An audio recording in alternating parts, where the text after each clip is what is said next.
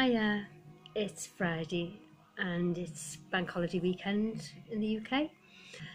Um, Lucy was in before. She asked to go out when I was doing a cup of tea. She asked to go out the. Um, when I say ask, she was meowing, obviously, obviously, um, at the back door. So I'm going to see if I can get her on.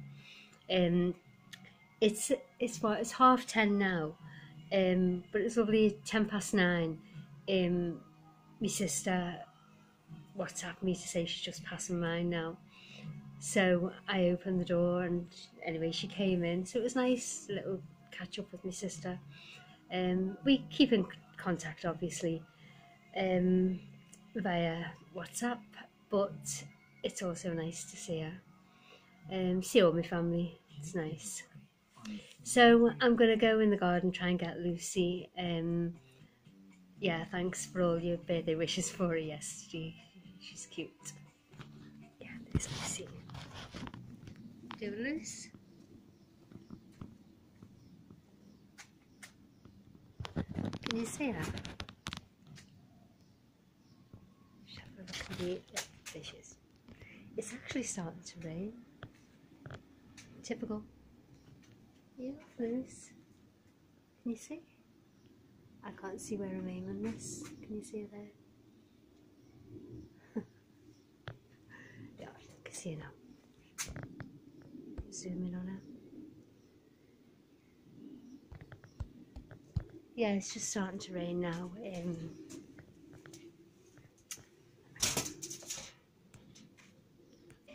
yeah, it's only spitting out there. Um, Lucy's on the back wall, as you can see. I think she's on her way across, so I'll try and get her back on, I think. Okay. Before she goes. There she is. You go loose?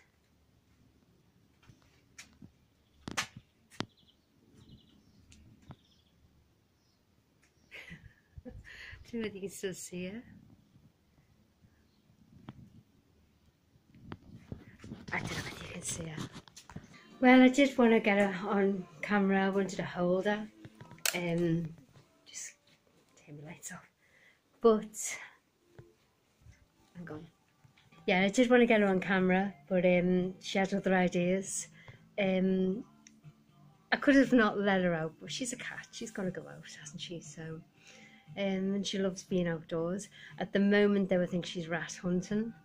Um, yesterday morning, her birthday, um, she left a little present in the path for us.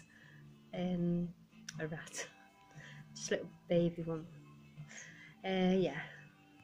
I want to thank you as well um, for, like I said, I wasn't feeling too good yesterday. Um, and I'd put to Selena, you know, Top Dog X, it's Kiss, Top Dog Kiss, but it's, you say Top Dog X.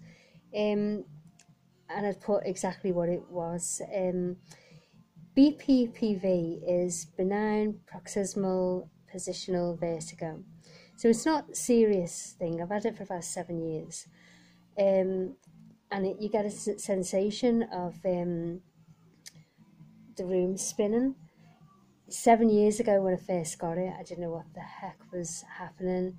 Um, I lay down and then next thing I couldn't even sit up. The room was spinning, the wardrobes were coming at me. Um, it was horrible. Anyway, cut long story short, the doctor thought it was labyrinthitis, you know, the inner ear thing. But it was getting worse, so he referred me. Hang on, sorry. He referred me um, to the hospital and uh, these tests, and it was horrible, horrible.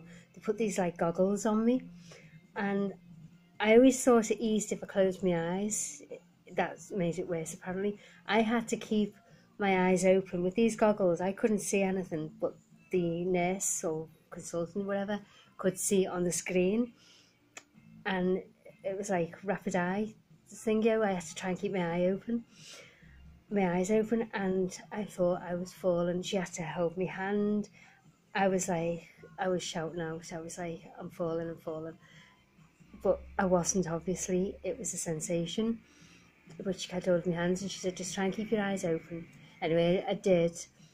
And I'm not ashamed to say I was crying. I was terrified.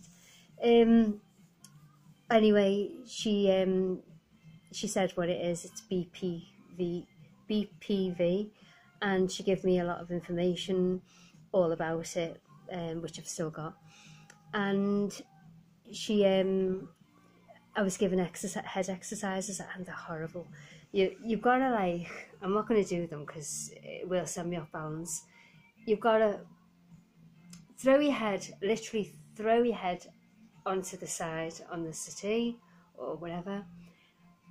I think it was for five, was it for a minute?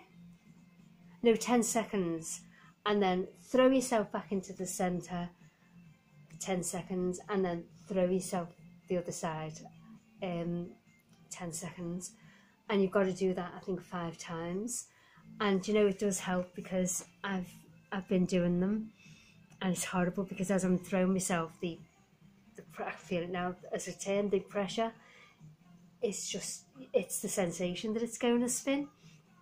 But the other night it, it didn't spin. I was just washing washing it. It spun the other night, but as I've been doing the uh, exercises, it's it's not spinning. That's what I'm saying. Um, but the other night I was washing my hair and I just happened to put my head down and the, bath come over at me, the, the shower, and I went off balance and banged my head um, on the bath. Um, so it went kind of worse. But I'm only explaining this because if anyone else has this sensation, it's possibly it could be that. Um, going off balance and that could be labyrinthitis, but the room's spinning, and I'm not kidding. It's it's the sensation that it's spinning and you got everything coming at you and you're just just going round and round and round and all whatever. It's horrible horrible feeling. Um but yeah so thanks for selena for googling that and um understanding what it is. But i'm a lot better today. Still a little bit fuzzy headed but i'll see how i go over the weekend. Um but i'm okay. But i still i've always not been able to look up too high or down too low because I do go off balance.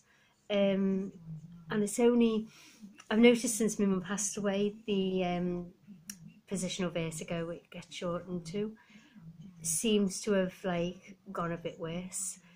And stress can kick it off, I guess. Um, so just gotta have less stress. Um, but yeah, that's down to me, isn't it? So yeah, so I'm I'm a lot better today.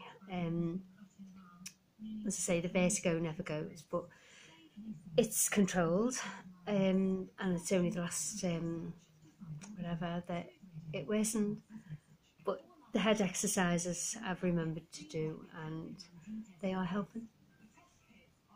Yeah, sorry if I've waffled on there about um, the positional vertigo, but it's just in case anybody else has those symptoms you'll know what it is. Um, Google it.